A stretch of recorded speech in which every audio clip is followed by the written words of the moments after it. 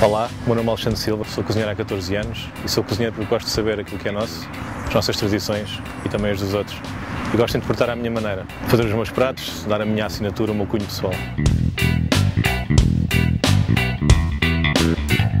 A minha paixão pela cozinha nasceu numa altura em que eu fui obrigado a cozinhar para mim e para o meu irmão. Você, como eu, gosta de criar e partilhar a sua cozinha com os outros, então deve candidatar-se com uma receita sua. Uma entrada, um prato principal ou uma sobremesa, mas claro, com produtos continentes. Não tenha receio. Apresente-se as vossas receitas e quem sabe, ainda vamos aprender muito consigo.